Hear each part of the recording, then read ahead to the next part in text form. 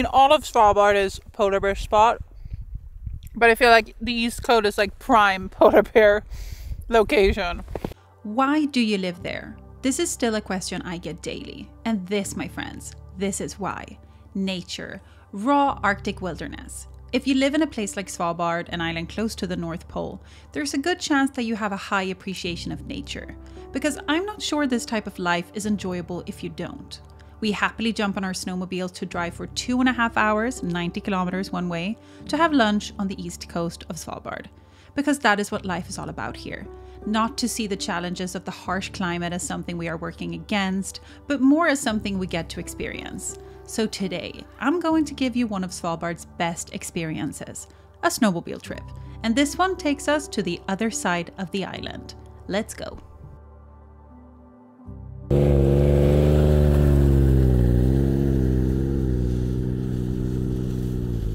Christopher is now just checking the snow. So this could be potentially super wet. Uh, or it could even lead into like water. So he's just gonna check what it's like if it's super, super wet. Mostly because we have our wooden sled, which is not very good to drive in any sort of conditions that are not, you know, snowy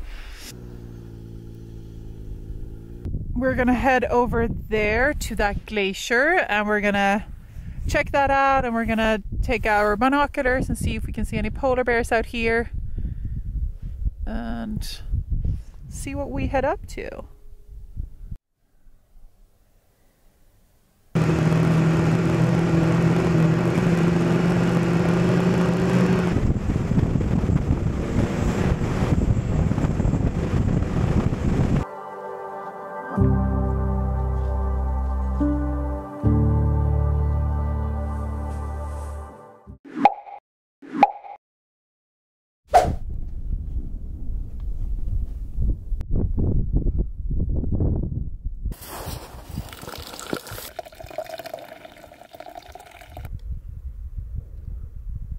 How long did it take us? Two and a half hours? Yeah. It feels like summer, Christopher. It's so warm. Yeah. Look, I don't, it's crazy. Uh, it's a bit warm today. In all of Svalbard is polar bear spot, but I feel like the East Coast is like prime polar bear location. So we're keeping our eyes open, and there are seals on the ice which is pretty much what they do when they're around glaciers. They hunt for seal. and here we are. But we we've looked around with our binoculars. We can't see any.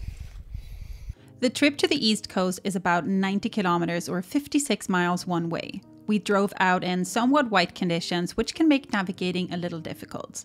If we're going somewhere we have been before, we often know the way by our surroundings, but we also always travel with GPS and have tracks to follow if necessary or if going somewhere new.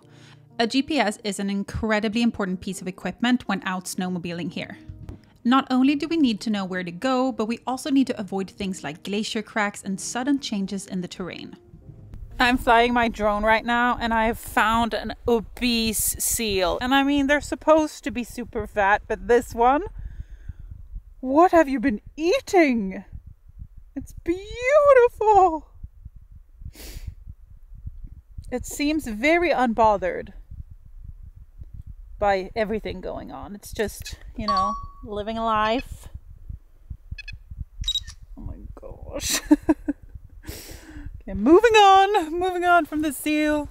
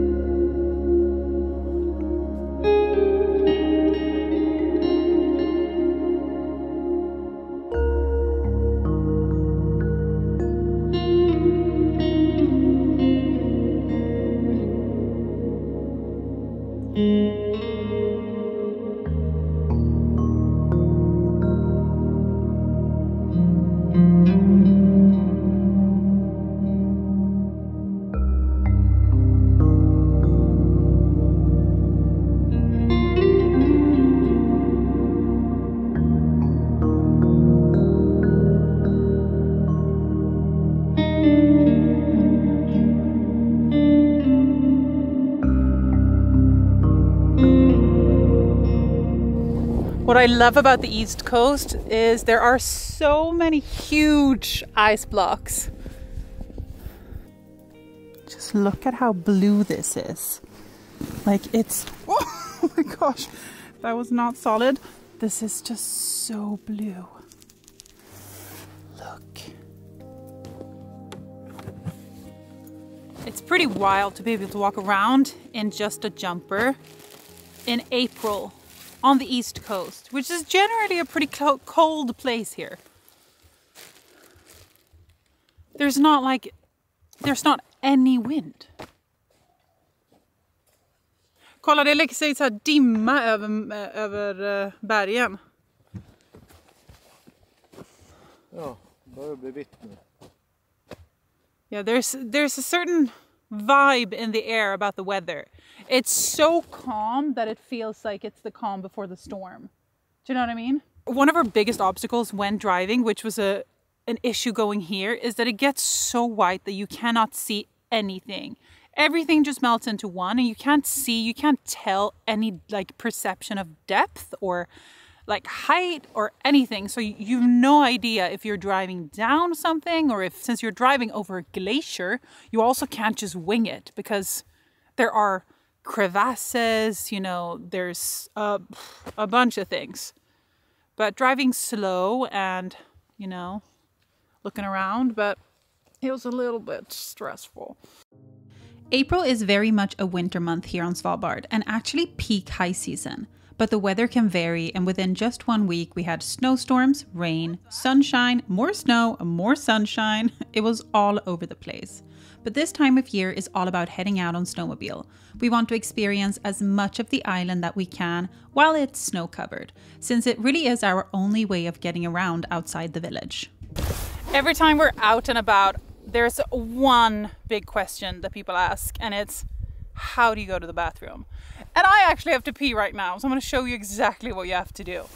And it's it involves taking off a lot of layers. But first I need my shovel. Since other people also, you know, travel around here, you want to keep it nice and clean. Well, not clean, but you want to keep it nice and white. You dig a little hole to do your business in. And if you need to poop, I mean, dig a big hole. if you need to pee, just scrape. Scrape off a little snow because it's always nicer. You can't see me, but I'm making a little hole here. Now starts the fun part, taking things off. Okay, so this, and even if it's windy and it's minus 30 degrees, this is what you have to do. There's a lot of layers to take off here. When you gotta go, you gotta go. Okay, now to the fun part.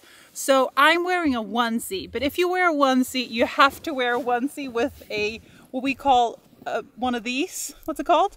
With a butt flap. I have one of those, which means that I don't have to take the rest off. Because that would be, that would be bad.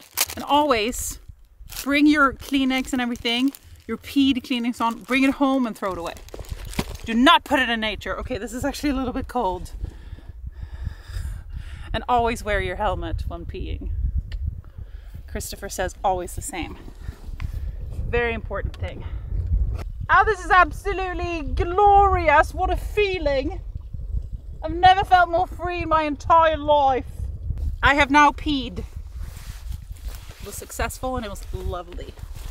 There is my tissue. I'm just gonna put that in my pan for now. You know, it's fine. Um, this is my avalanche beacon snow back in my pee hole. Positively lovely. Christopher also peed.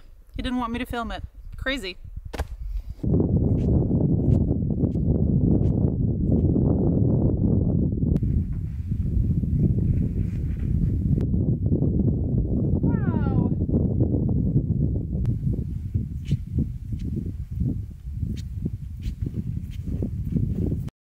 If you've been on my channel for a while, you might have noticed that our winters are relatively mild comparing to other locations on the same latitude.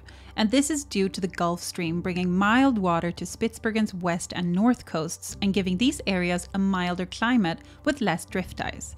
The east coast, on the other hand, is not affected by the Gulf Stream to the same extent.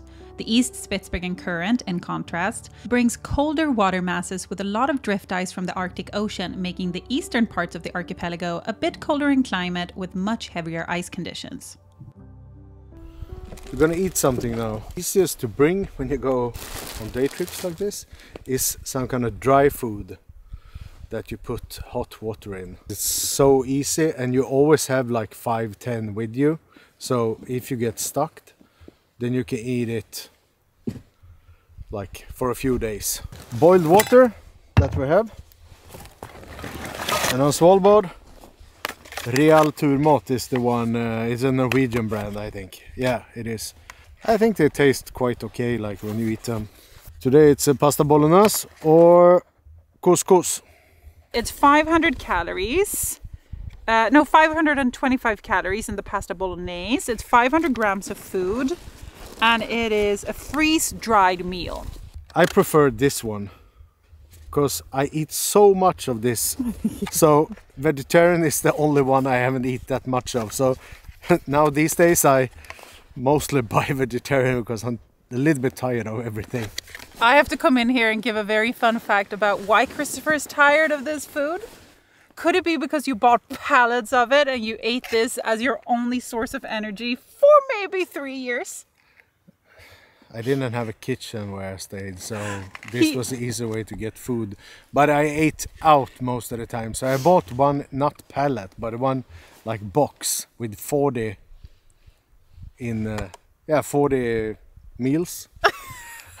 so and it was the same taste. so you had for a while. I don't know how much water you're supposed to have in it, but I always make soup of it, so you can drink it directly from the bottle because it's, it's quite salty. So for me to make a soup of everything, it's perfect. Shoof. Step one. Step two. Open. Step three is actually take a knife and cut a hole here so you get it out.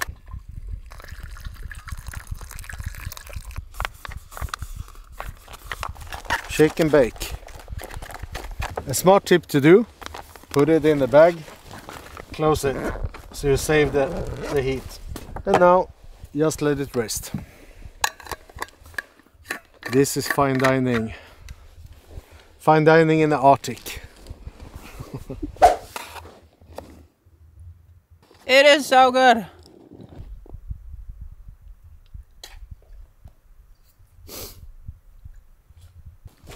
When we say that this is prime polar bear area, we mean it.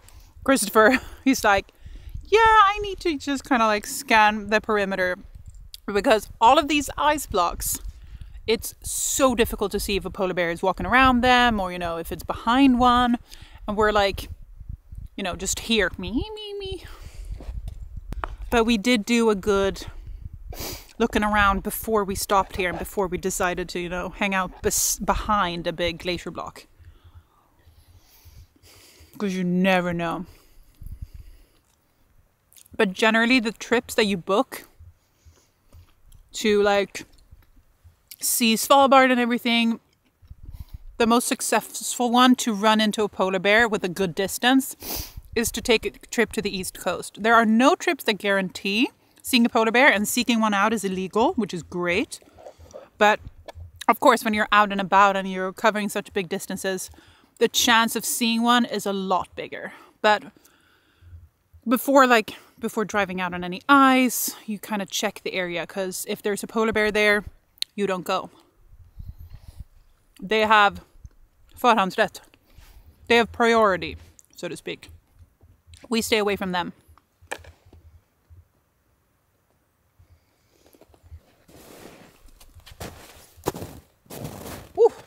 I almost fell there.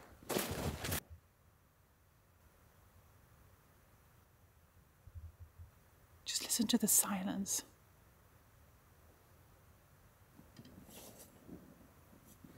Our friend is watching Grimm for us because he just had a tooth surgery. But we told him that we were going to be home at 6 p.m. and right now it is 5:30. And usually, when you tell somebody that you're going to be home a certain time, they kind of it raises alarm bells if you're not home at that time. But what we bring with when we're out is satellite communication. So Christopher is now going to use his satellite InReach device to send him a text message and say that we are on our way home now. Don't worry, we're fine, we're safe, but we're going to be home a little bit later than what we said.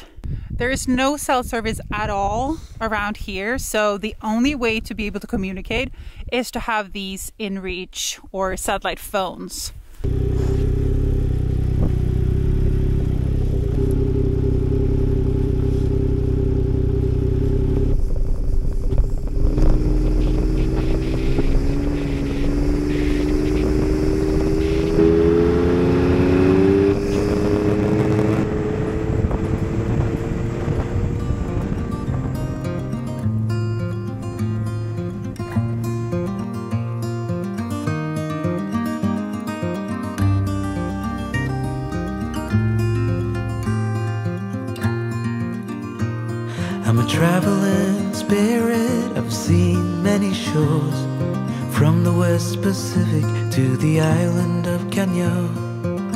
They treat me like a son anywhere I go. And even though no one can tell, I still feel that I'm alone. I'm alone, I'm alone, I'm alone. Leave me stranded, I know how to handle it all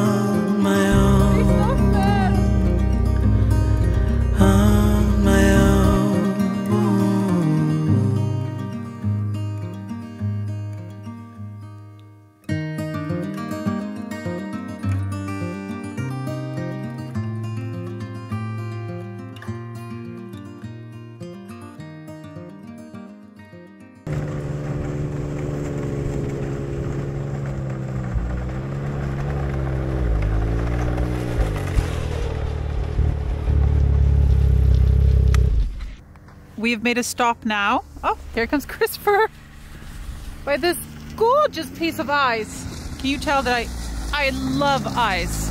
Uh, we have 60 liters of gasoline with us. And for a trip like this, we use maybe could it be between 30 liter ish, so 60 liters for two persons.